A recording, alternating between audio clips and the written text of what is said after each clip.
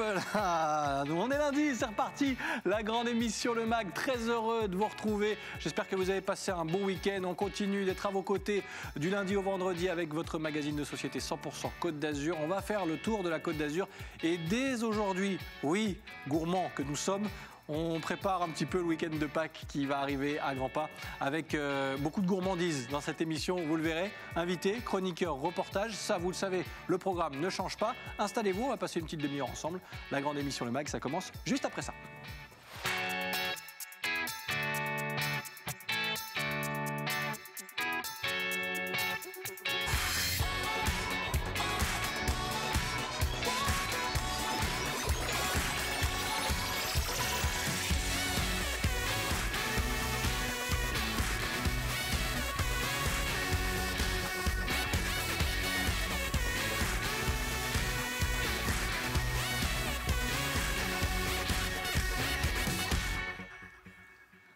Nous sommes le lundi 29 mars, vous regardez la grande émission Le Mag. Merci d'être avec nous. C'est un plaisir de vous retrouver en ce lundi pour lancer cette semaine. Oui, je sais, parfois le lundi, c'est pas évident. Et eh ben, on est là pour vous aider. Et avec ce qu'on a en plateau et ce dont on va vous parler, je pense que vous allez retrouver un petit peu de peps, du tonus pour euh, continuer cette semaine et aller jusqu'au week-end de Pâques. Il en sera largement question avec notre invité du jour, Philippe Cornet, chocolatier de l'Oiseau d'Or, qu'on connaît bien sur les antennes d'Azur TV. Eh bien, on va faire le point à quelques jours de l'événement. Oui, le week-end de Pâques. Comment ça se passe, surtout cette année, une année un petit peu particulière On fera le point avec lui. On a beaucoup de questions à lui poser et on va découvrir de très belles créations avec lui. Philippe Cornet, notre invité sur le plateau de la grande émission Le Mag, dans quelques minutes. Et puis, on ouvrira une petite parenthèse escape game avec euh, de beaux messages, puisque un escape game écologique, oui, c'est possible, euh, a été organisé euh, récemment auprès des plus jeunes pour les sensibiliser. Un bon moyen de toucher à des euh, thèmes qui parfois ne sont pas abordés sous les bons angles. Ce sera le cas avec le reportage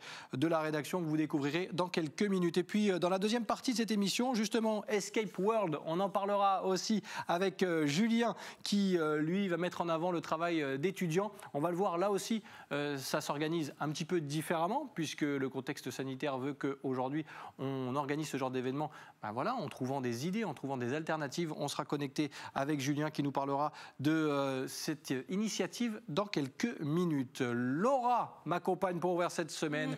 et je suis ravi de l'avoir à mes côtés. Comment ça va Laura? Bah, Ça va, toujours un honneur d'être à tes côtés. Un honneur, rien que ça. Oh là là là. T'as vu qu'on t'a testé, on t'a mis des chocolats sur les côtés, euh, juste devant.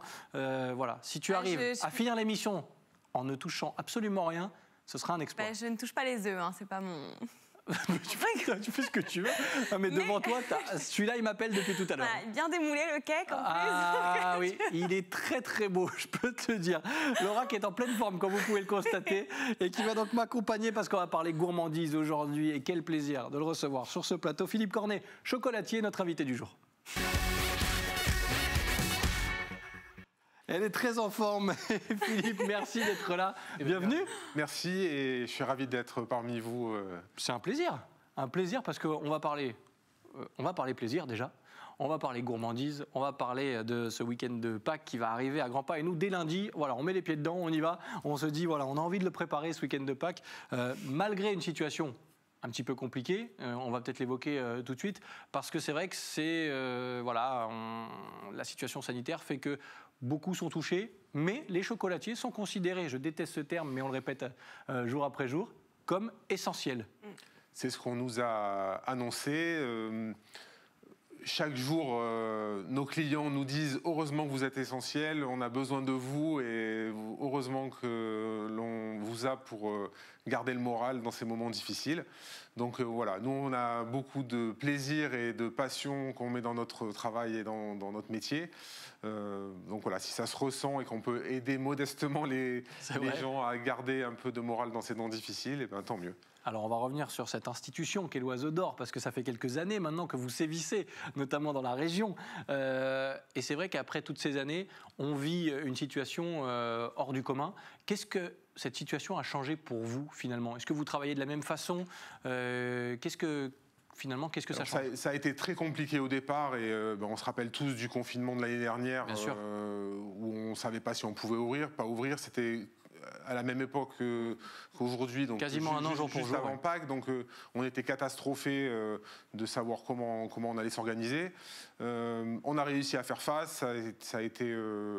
on a eu beaucoup moins de clients évidemment, Euh, on a fait beaucoup de livraisons, on s'est organisé différemment. Euh, Là, cette année, ça se passe, on va dire, un peu mieux parce qu'on a du recul, que no- notre équipe est, est restée au complet, et tout le monde répond présent et tout le monde euh, fait du mieux. Alors effectivement, ben, on travaille euh, différemment avec des gestes barrières, avec des masques, avec des gels, avec euh, toutes les précautions que l'on peut prendre et que l'on doit à nos clients aussi. Euh, mais on arrive à travailler, donc on ne peut pas se plaindre et on est par rapport à plein de, plein de professions qui sont à l'arrêt complet. Voilà. Nous, on a la grande chance de pouvoir travailler. On pense aux restaurateurs notamment, mais ils sont nombreux euh, effectivement dans, dans ce cas-là. Laura, quand on parle chocolatier, bon, toi tout de suite, tu as des étoiles dans les yeux évidemment. Mais c'est vrai qu'on est tous des enfants devant le chocolat. Alors je sais pas, Philippe, mais euh, c'est vrai qu'on a l'impression d'avoir tous le même regard sur le chocolat. Là, je vois Laura. C'est vrai, on est tous. euh, Ah ouais, mais euh, et encore, les téléspectateurs n'ont pas la chance de voir ce qu'on peut voir nous juste en face. C'est magnifique. Non, vraiment, c'est magnifique. Mais c'est limite, c'est de l'art, quoi. C'est c'est artistique, votre métier. Alors, ça a un côté, c'est vrai que ça a un côté un peu magique. Euh, alors, du fait de que c'est un métier manuel, donc on touche la matière, donc c'est qu'on a beaucoup de plaisir à le travailler. Euh, quand on dit dans une conversation qu'on est chocolatier, c'est vrai que souvent bah, les yeux s'illuminent en se disant ah chocolatier. Vraiment, c'est vrai que c'est le, le côté euh, magique du chocolat qui ressort euh, tout le temps, et aussi bien pour les enfants que pour les que pour les adultes. hein. bon, on est tous des enfants face au chocolat. C'est ça. Je pense qu'il y a, je pense qu'il y a de ça. Oui. On est bien d'accord, on est bien d'accord. Est-ce qu'on est inquiet quand même, Philippe euh, euh, Parce que on le sait, hein, vous l'avez dit tout à l'heure, on s'adapte un petit peu au jour le jour. Euh, quand on voit arriver ce week-end de Pâques, on se dit bon, il va y avoir des annonces du gouvernement. Est-ce qu'on va nous priver de ça? Les regroupements familiaux, c'est compliqué. Euh, est-ce que les clients, déjà, parce qu'on sait qu'on est dans la dernière ligne droite pour vous, est-ce qu'ils sont déjà au rendez-vous? Ils font leur réservation Ça se passe bien? Alors, je pense que les gens ont pas mal anticipé la chose, justement. Euh, on a plein de clients qui ont été frustrés l'année dernière de ne pas pouvoir avoir leur moulage de Pâques ou de ne pas pouvoir en envoyer à leurs enfants ou leurs petits-enfants. Donc là, c'est vrai que les ventes ont commencé un peu plus tôt que d'habitude. Euh, on a fait beaucoup d'expéditions, on a fait euh, beaucoup de précommandes, en fait. Euh, Sachant quand même que la plus grosse euh, partie des ventes va se faire cette semaine-là. hein. C'est- Bien sûr. la majorité des gens euh, vont, vont se réveiller là euh, aujourd'hui ou demain en disant oh là là mais c'est c'est pas qu'il faut qu'on y aille. Donc on espère que ça va bien se passer. On espère euh, nous on est prêts, on a anticipé pratiquement toutes nos fabrications sont terminées. Donc voilà on attend euh, de pouvoir régaler tous nos clients gourmands. Ouais, Laura Vous avez un petit conseil de, de conservation pour les gens qui vont venir euh, demain ou mercredi pour Ah. garder les chocolats, puisqu'on attend tous l'annonce euh, du coup du Premier ministre euh, fin de semaine. On est lundi. Euh, si jamais voilà, on veut se dépêcher par peur. euh, Ah, En fait, je, je traduis, hein, parce que en fait, Oui. si elle repart avec un chocolat, est-ce qu'elle peut le garder jusqu'à ce week-end Voilà, c'est un peu ça. Alors en termes de conservation euh, du chocolat, il n'y a aucun problème pour le garder quelques jours comme ça. Le seul problème que vous risquez d'avoir, c'est de ne pas succomber à la tentation euh, avant. Donc je peux recommander de le laisser surtout dans son emballage, éventuellement dans un sac fermé pour pas trop le voir, sinon euh, vous allez avoir du mal à résister. Mais quelques jours, on peut le garder. Mais Oui, aucun sinon, problème. Ça se garde. Oui, On oui, peut, aucun voilà, on- problème. On peut venir acheter demain chez Dans vous une et pièce le voilà, garder. non, euh, euh, non chauffée, euh, à l'abri de la lumière, ça se garde très bien. bon, bah. Bon, voilà, c'est bon, tu pourras garder peut-être une petite pièce. Mais pour ça, Oui. il va falloir être plutôt à l'aise au quiz. Le quiz. Eh oui, parce qu'il y a un petit quiz, on essaie de piéger nos chroniqueurs avec des petites infos, des, petites, euh, des petits indices qui vont s'afficher derrière chaque indice, une info qui concerne notre invité. Et on va continuer aujourd'hui parce qu'on ne change pas une équipe qui gagne. Euh, Laura, Oui. j'ai des indices à te montrer. Allez. Ils vont arriver un par un. Tu es prête? Oui. Attention, le chocolat est en jeu. 1946. Euh, c'est la date de création euh, de l'Oiseau d'Or. Très bien. Ça démarre bien. C'est pour ça que Donc- tout à l'heure, je parlais d'institution aussi, parce que c'est un savoir-faire familial qui se transmet. Euh, c'est un résumé un petit peu de, de cette oui, oui, histoire. ça c'est une de mes grandes fiertés, c'est ça, c'est de, de perpétuer cette tradition de la famille. Euh, c'est mon grand-père, Maurice Cornet, qui a ouvert le- la première boutique Mm. L'Oiseau d'Or à Cagnes-sur-Mer. Euh, ensuite, ça a été repris par, par mon papa Pierre, qui a ouvert une deuxième boutique sur Nice. Voilà, moi je suis la troisième génération, et on a la quatrième génération Ah, qui ouais. travaille avec nous. Voilà. Alors moi j'ai la grande chance de travailler aussi avec mon épouse hein, qui s'occupe vraiment des boutiques. Euh, moi je suis plus en fabrication. Et euh, on a notre fils aîné Clément euh, qui nous a rejoint euh, depuis trois ans maintenant, qui est allé se former un petit peu dans d'autres grandes maisons. Euh, et qui nous a rejoints. Donc voilà, la quatrième génération est en train de bien se mettre en place. Et ça devrait, euh, l'aventure l'oiseau d'or devrait encore continuer Tant mieux. quelques années. ouais. C'est bon signe parce que là, on parle d'une famille, mais est-ce que euh, le métier de chocolatier, c'est un métier d'artisan, d'art, le disait aussi euh, tout à l'heure Laura. euh, est-ce qu'il y a une génération qui s'intéresse, qui a envie de découvrir ce métier Parce que euh, c'est pas évident? Quand c'est pas dans la famille, en tout cas, on a du mal à y venir peut-être euh, plus naturellement. Alors c'est un, métier, mais comme tous les métiers, qui évolue. Donc, euh, donc chaque génération doit pas reproduire exactement ce qu'a fait celle, celle d'avant, on va dire. hein. Et je pense que dans notre famille, si on, si on arrive à, à durer dans le temps comme ça, c'est que chaque génération a amené sa pierre à l'édifice, on va dire. Donc euh, moi j'ai amené certaines choses, Clément va en amener d'autres. Euh, les jeunes passionnés ont toujours leur place. Ouais. Et je crois que c'est le, le- le mot-clé, on va dire, c'est d'être passionné par son métier, c'est d'être passionné par ce qu'on fait. Et de- dans la mesure où on est passionné, on le fait bien et, euh, et on régale les gens. en tout Et on le fait longtemps, parce que si on n'est pas passionné, je pense que ce sont des métiers où euh, on peut très vite s'essouffler. Exactement. Ouais. Non, mais il ne Laura. faut pas oublier aussi qu'on est dans une société de consommation où tout est très industriel et que justement ce savoir-faire, euh, bah, pas français, mais qui se transmet aussi de génération en génération chez vous et le, le côté manuel se perd beaucoup. Mais aujourd'hui, il y a de plus en plus de jeunes qui repartent sur des métiers euh, comme fromager, euh, chocolatier, le vrai pâtissier, hein, pas celui qui décongèle les pâtisseries. Mais, On les embrasse, ouais, on hein, les bien sûr. Oui, bon, ça c'est surtout les grandes chaînes. Non, non, mais c'est vrai. voilà, mais c'est vrai que ça devient rare. Effectivement. Et on, on voit plein de gens qui, même- qui même nous sollicitent pour faire des reconversions. Voilà. euh, où ils cherchent un métier euh, qui va donner du sens à ce qu'ils font, Mm. euh, qui va être créatif, euh, qui va donner du plaisir aux gens.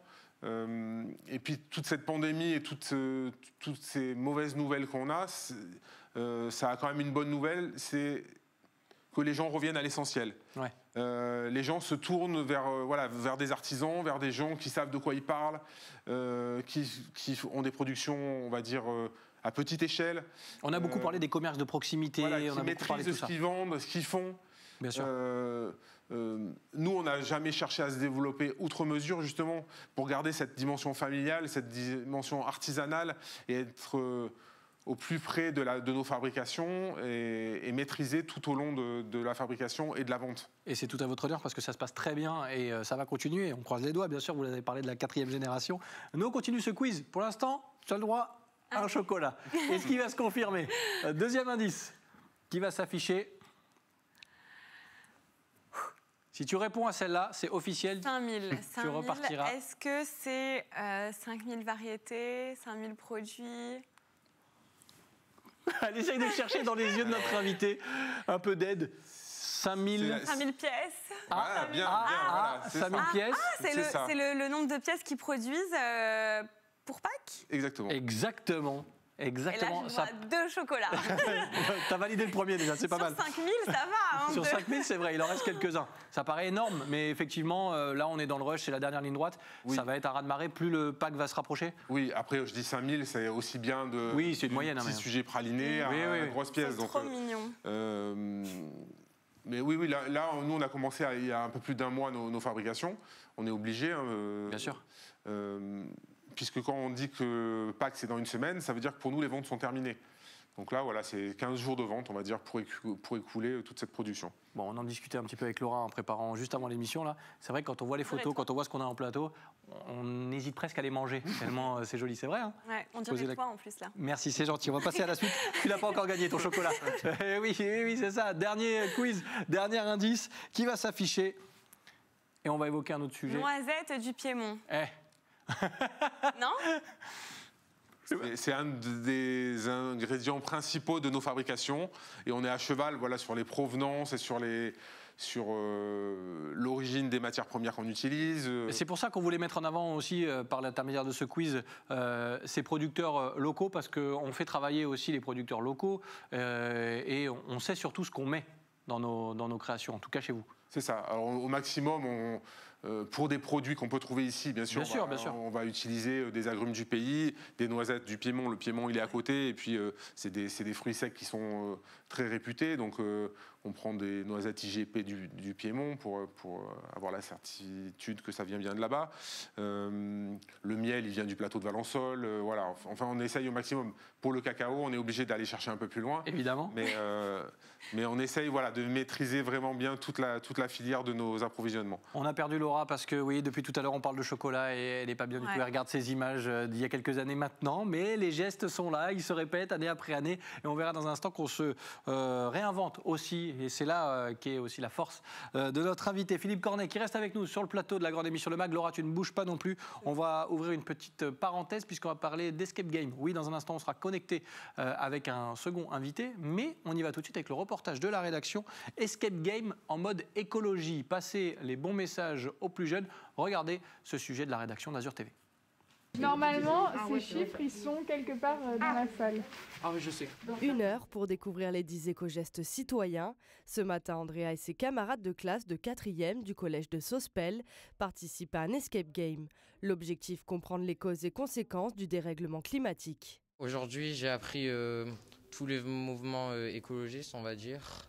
Euh, donc euh, pour euh, préserver euh, la nature, la biodiversité.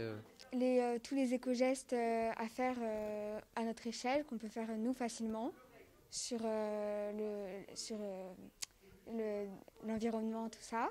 Trouver des indices, résoudre des énigmes, ouvrir des coffres forts. Chapeautés par des animateurs, les collégiens sont invités à progresser dans quatre pièces mystères. C'est en totale immersion qu'ils apprennent à leur échelle les comportements éco-citoyens à adopter. L'objectif principal, c'est bien sûr de les instruire sur la cause environnementale, mais aussi euh, de les immerger, immerser dans un dans un environnement euh, qui parfois connaissent et parfois ne connaissent pas du tout. Sensibiliser dès le plus jeune âge est primordial pour le directeur du collège. Cette animation complète des projets déjà mis en place au sein de l'établissement. Pour lui, ses élèves sont les acteurs de la transition écologique de demain. Euh, il y a plusieurs projets, notamment on a un jardin pédagogique aussi. Nous avons des éco-délégués euh, qui s'engagent avec leurs professeurs sur différentes actions dans un comité de pilotage que l'on réunit chaque trimestre. Donc euh, c'est une nouvelle action ici qui est importante pour nos élèves. Plus attrayant, plus dynamique ou encore plus attractif, l'objectif de l'association G Addiction n'est pas de faire la morale, mais de faire passer un message de manière ludique et pédagogique. Ça permet aux jeunes de jouer, ils sont stimulés, ils sont euh, boostés dans une course effrénée contre la montre. Les deux équipes sont en compétition, donc on tire toutes les ficelles pour que les jeunes s'éclatent sans se rendre compte euh, qu'on euh, distille les 10 éco-gestes citoyens une heure durant. De Menton à Roquebrune en passant par Sospel, G Addiction va sensibiliser plus de 2000 jeunes dans 20 collèges différents d'ici fin juin. L'association se rendra la semaine prochaine au collège de Beau-Soleil. Voilà, j'ai addiction dont on avait parlé dans la grande émission Le Mag. Merci à Claudia Olivier de la rédaction d'Azur TV, emmenée par euh, l'immense Nicolas Galup, que vous retrouvez du lundi au vendredi euh, aux côtés d'Éric Revel pour euh, le grand direct. Nous, on est de retour sur le plateau de la grande émission Le Mag. Je te fais réagir, Laura, parce que je sais que tu es prof aussi. Oui. Alors, les étudiants que tu as, euh, toi, ils sont un petit peu plus vieux que ceux Oui. qu'on vient de voir là. Mais c'est vrai que l'initiative est sympa et euh, ça permet d'aborder des sujets qu'on n'aborderait pas peut-être. Alors complètement, en c'est hyper sympa. Moi, j'aimerais bien que ma fille fasse des petits ateliers comme ça. Ça serait plutôt pas mal. Ouais. Moi, j'ai les plus grandes, donc c'est vrai que voilà, on fait pas ce genre de choses. Je pense qu'ils se moqueraient de moi si je le décide de faire un atelier sur l'écologie. Mais ils sont déjà un peu plus sensibles et c'est vrai qu'il y a une génération qui arrive qui est beaucoup plus sensibilisée justement à l'environnement, l'écologie, tout ça, et qui est beaucoup plus impliquée que nous. Oui, c'est vrai qu'on l'a été, euh, nous, parce qu'on était un petit peu moins sensibilisés. Merci Laura pour euh, ce- cet avis. Euh, Là, je m'adressais à la prof, hein, bien sûr. Évidemment, nous, on continue de parler chocolat avec notre invité Philippe Cornet, chocolatier de l'Oiseau d'Or. Et on essaiera de savoir un petit peu la tendance de cette année, parce qu'il y a toujours une petite tendance qui se dégage, et aussi comment on se réinvente. Mais juste avant, on était dans les escape games. On va y rester un petit peu. C'est presque un escape game d'aller chercher des œufs, finalement. Ah oui, ah oui, Hein oui, oui, tout à fait. Oui. Bah oui. Oui, ça c'est une vraie tradition qu'il faut, qu'il faut préserver. On espère que cette année, on va encore pouvoir euh, On espère. faire la chasse aux œufs. oui. En plein air, bien sûr, avec les distanciations, euh, évidemment. Mais ça fait partie des petits rituels qu'on aime faire en famille. Oui, Laura? Oui, pas Sébastien. Oui. On cache les œufs, pas les invités cette année. Oui, je sais, t'inquiète pas. Elle l'aime bien celle-là, hein, merci. Euh, on va se connecter, nous, avant de terminer avec le chocolat, bien sûr, puisqu'on parlait d'escape game, on continue de le faire dans la rubrique À vos côtés, aux côtés de Julien aujourd'hui. Julien qui va nous parler d'Escape World. Il est normalement connecté à ce plateau. Est-ce qu'il est là? Est-ce qu'il m'entend? Oui, je vous entends. Merci d'être avec nous, Julien. C'est un plaisir parce que on l'a évoqué par l'intermédiaire du reportage de la rédaction, un escape game euh, pour de vrai, ça donne à peu près ce qu'on a vu euh, là tout à l'heure. Mais vous, vous étiez sur un autre projet. Expliquez-nous euh, ce projet et comment vous l'avez adapté à la situation aussi. Alors, le projet qu'on a essayé de créer avec une quinzaine d'étudiants de la licence en management du sport, dont je fais partie, c'est Escape World. Donc, c'est un, projet sur lequel on travaille depuis octobre euh, un projet événementiel qui est créé à partir d'une feuille blanche. Donc euh, on a tout fait pour euh, le mettre en œuvre et le réaliser quelle que soit la situation. Donc on voulait faire un double événement à la base. une partie qui était en accueillant le public ici, donc où le public pouvait tester nos escape games directement sur notre campus au STAPS, mmh. et une autre partie adaptée en jeu vidéo, mais on retrouverait les mêmes mondes. Donc euh, la situation sanitaire euh, nous oblige à être à 100% en, virtuel. Donc euh, on propose au public de, jouer sur notre site internet aux, escape games qu'on a créés. Alors concrètement, comment ça se passe du coup? Voilà, il faut se connecter, il y a des rendez-vous, combien d'univers on peut explorer? Expliquez-nous. Alors, Escape World, c'est un mois de jeux et de surprises, donc du 20 mars au 20 avril. On propose six escape games différents, avec des thématiques différentes qui sont euh, proposés pour euh, des personnes euh, aussi différentes. Donc ça peut aller de, des enfants, donc la jeunesse, aux sportifs, aux adultes. Donc chacun peut trouver en gros un thème qui lui convient. Pour, pour, pour jouer, en gros, il faut créer un, compte sur notre site internet escapeworldsnice.com. À partir de ce compte, vous choisissez la formule que vous voulez, sachant qu'on propose la, gratuité aux étudiants puisque euh, bah, pour les étudiants de l'université euh, Côte d'Azur, donc c'est du campus de Nice à Toulon, on connaît la difficulté actuelle et euh, voilà, ça nous tenait vraiment à cœur de lui offrir la gratuité. Et donc, pour tout le monde, il faut créer un compte, choisir la formule qu'on souhaite sélectionner et après, il suffit de, payer pour accéder au monde qu'on souhaite. Et euh, j'imagine que la situation euh, fait que vous vous lancez dans des expériences que vous n'auriez peut-être pas connues euh, hors Covid. ça fait partie des petites modifications, des petites choses qui changent aussi dans votre quotidien d'étudiant, d'explorer un petit peu de, nouveaux univers?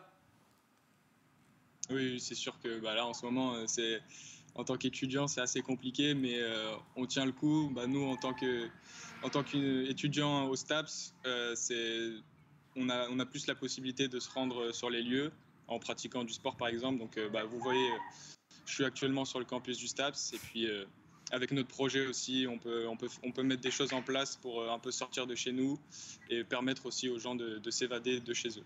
Bon, profitez ce week-end, si c'est possible, pour aller chercher les œufs, parce qu'il n'y a pas d'âge, on l'a dit, on en parle depuis tout à l'heure. C'est un autre style d'escape game, mais c'est pas mal. Et puis je sais qu'on est tous un petit peu gourmands, donc ça peut être aussi une bonne activité pour ce week-end. On ira chercher des œufs.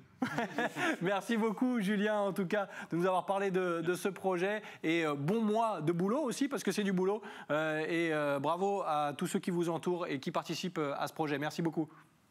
Merci, merci beaucoup. C'était un plaisir de mettre en avant, parce qu'on essaie de le faire de plus en plus dans la grande émission de MAG, les projets des étudiants. Ils vivent eux aussi une période compliquée. nous, on revient à nos œufs parce qu'il nous reste un peu plus de deux minutes.